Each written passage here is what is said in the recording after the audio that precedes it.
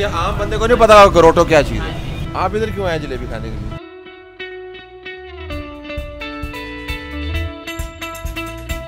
बारिश शुरू हो गई है और सर्दी बहुत बढ़ गई है। मैं यकीन रखता हूँ कि हर मौसम के मुताबिक आपको अपना खाना एडजस्ट करना चाहिए। सर्दी का कोई फ़ायदा नहीं है अगर आप जलेबी ना खाएँ। हमारे ज़माने में काफ़ी अर्सा पहले जलेबी पतली जलेबी होती थी और जर्द रंग की जलेबी होती थी। बाद में बहुत उसमें तब्दीली की तो उन्होंने उसको सफ़ेद रंग में तब्दील कर दिया। और घरों में खुशी के मौके के ऊपर थाल रखे जाते थे, उसके जलेबियाँ बनती होती थी और वहीं पे हम खाते होते थे। उसके बाद जलेबी में एक इनकलाबी तब्दीली आई और हमने ये देखा कि मोटी और क्रिस्प जलेबी जो है, जो एक ऑलमोस्ट रस्सी की मानद होती है, लेकिन होती बहुत क्रिस्प है। उसकी आमद हुई। उसको कहते हैं ग्राटो की जलेबी। अब चूँकि बारिश हो रही है तो मेरा ख्याल है मुझे ग्राटो की जलेबी खानी चाहिए। इस्लामाबाद से जाते हुए हम पिंडी की तरफ़ तकरीबन कोई 10-12 किलोमीटर दूर पड़ता है। ग्राटो की जलेबी। तीन, चार, पाँच ग्राटो वाले हैं। अच्छा मुझे कभी समझ नहीं है इसका नाम ग्राटो क्यों लिख रखा है ना? पूछेंगे अगर वो आज वहाँ पे मौजूद हुए तो। अगर ट्रैफ़िक ने हमें इजाज़त दी। Murree road is always a mess और मैं इतने अरसे से मरी रोड को देख रहा हूँ, इसमें इतनी इनकलाबी तब्दीलियाँ आई ओवर हेड्स बने अंडर हेड बने राउंड अबाउट्स बने।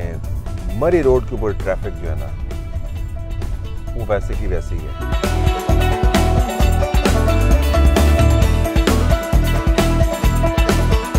जलेबी वाला ना जब हम आगे जाएँगे तो ये हमारे सीधे हाथ पे यानी हम पहले आगे जाना होगा, घूम के वापस आना होगा। जिससे ख्याल आता है कि इस शहर में जलेबी खाना भी इतना औखा काम है।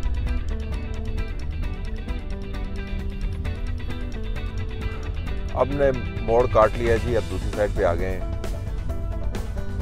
ग्राटो जलेबी बनाने वाला जो था, उसके इर्द गिर्द और भी ग्राटो जलेबी बनाने वाले आ गए और अब सब कंपटीशन है तो तीन, चार, पाँच शॉप तो आपको जगह जगह पर ग्राटो के नाम नज़र आएँगे। हमने हैं कि ग्राटो का मतलब क्या है? इन सबसे जिन्होंने बोर्ड लगाए हुए ग्राटो है क्या? चीज़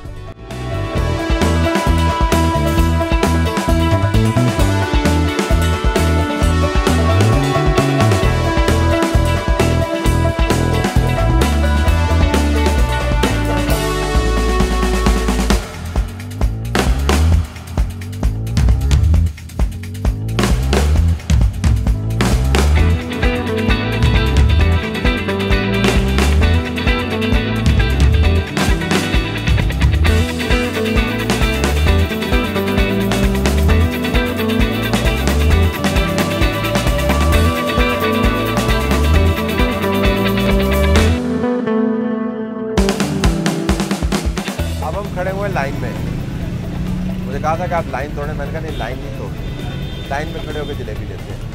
पुलिस वाला, ट्रैफ़िक पुलिस वाला अपना काम भी कर रहा है।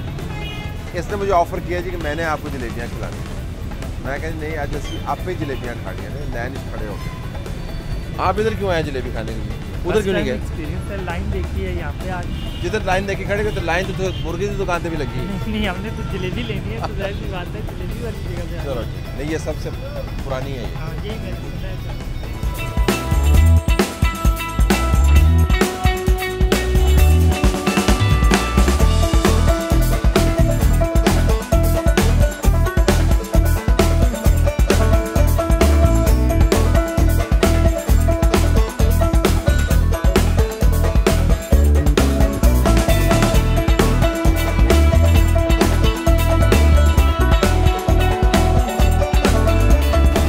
अच्छा आपने इसका नाम ग्राटो क्यों रखा हुआ है?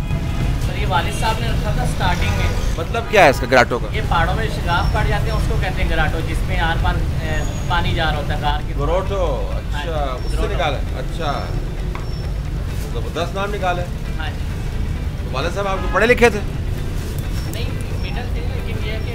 क्योंकि ये आम बंदे को नहीं पता ग्रोटो क्या चीज़ हाँ। है अच्छा तो इस जलेबी में कितनी कैलोरीज होती होंगी? शुगर कितनी है इसमें? वैसे तो हमारी जलेबी से निकल जाता है शीरा इसका निकल जाता है। ठीक है। लेकिन दस से बारह मिनट बाद मैं एतराज़ नहीं कर रहा मैं तो खुद खाने के लिए आया हूँ वैसे पूछ रहा मसला नहीं। इसमें शीरा निकल जाता है। है। आधा खाली हो जाती है आधी रहती है। लेकिन इतना कोई ज़्यादा मीठा नहीं होता है। इर्द गिर्द और भी काफ़ी सारे ग्रोटो आए हैं। हाँ जी, उधर रश नहीं है। असल चीज़ के ऊपर रश होगा। लेने लगी हैं। असल और ओरिजिनल चीज़ के ऊपर ही रश लगेगा जिसमें मटेरियल अच्छा इसमें और उसमें क्या फ़र्क है? मटेरियल का फ़र्क है। किसका मटेरियल ऐसे में स्टील लाते हो तो क्या कर नहीं नहीं हैं इसमें मैदा दाल माश और खमीर इस्तेमाल होता है दाल माश भी बंद है जी।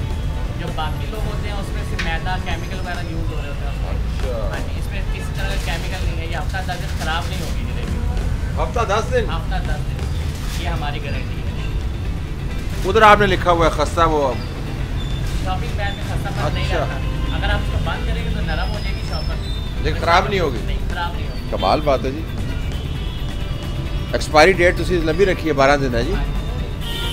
कोई केमिकल इस्तेमाल ही नहीं होता जो इसे खराब करे सही है। और ये शीरा कौन सी चीनी का बनता है? चीनी? हाँ जी देसी? जो है